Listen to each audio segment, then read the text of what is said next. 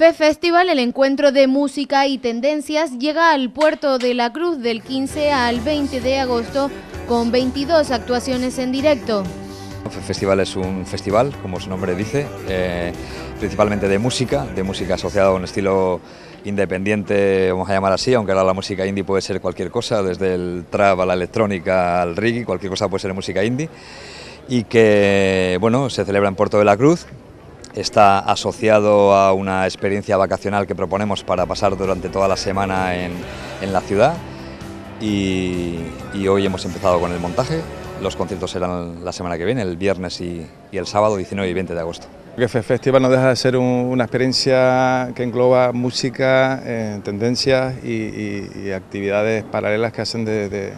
un fin de semana un, un momento especial, ¿no? Sobre todo para, no solamente para la gente local, sino también para los que nos vienen a visitar desde afuera. Yo creo que el festival engloba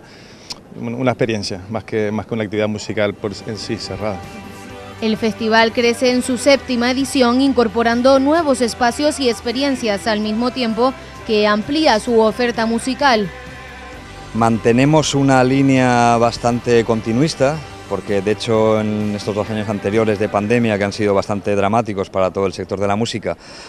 nosotros hemos podido mantener las dos ediciones en unas condiciones muy limitadas, pero veníamos ya de, las ediciones anteriores manteniendo otro tipo de actividades paralelas, como, comentaba, ¿no? para, complementar lo que es la oferta vacacional y la experiencia del festival. Eh, hacemos un, encuentro de yoga el, sábado 20 por la mañana con, con, diferentes prácticas en diferentes espacios. Hacemos un campeonato el jueves en el skate park de San Antonio, un campeonato de skate y de BMX así a nivel regional, en el que además proponemos a, diferentes eh, patinadores y riders de otras islas que, pueden venir, que les sufragamos los gastos para que, para que el, digamos, el campeonato tenga mayor entidad. Y desde el 30 de, junio, de julio perdón, eh, estamos en el Castillo San Felipe con una exposición que se llama Fe Gallery, una exposición colectiva con con más de 20 artistas emergentes de, Canarias. Y este año estrenamos una actividad nueva que hemos llamado Summer Camp que empieza el martes durante toda la semana con un programa de actividades asociado también a, digamos, a, prácticas deportivas, eh, vida saludable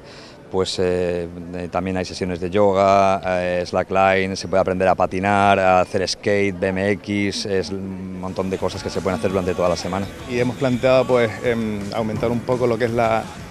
la parte musical, la hemos ampliado, hemos, hemos, hemos puesto dos escenarios, entonces en este año estamos hablando de que casi van a haber 10 grupos por día, normalmente hacíamos los cambios de escenario de grupo a grupo con un, pequeño slot de, de DJ, pues este año hemos planteado dos escenarios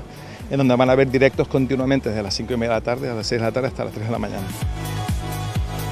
El festival da un salto cualitativo en cuanto a la selección de artistas que forman parte del cartel de esta edición. Este año podemos em, destacar la participación de cuatro o cinco grupos ya de procedencia internacional, que para nosotros es, un placer. Tenemos grupos que vienen desde República Dominicana, como puede ser Mula, Instituto Mexicano del Sonido que vienen de México, Digitalism que son de, Berlín, entonces hay una cierta representación internacional que para nosotros pues eh, eh, eh, para nosotros es un, gustazo. Y, destacar también que seguimos con la programación de grupos locales, como siempre, que tenemos dos grupos por día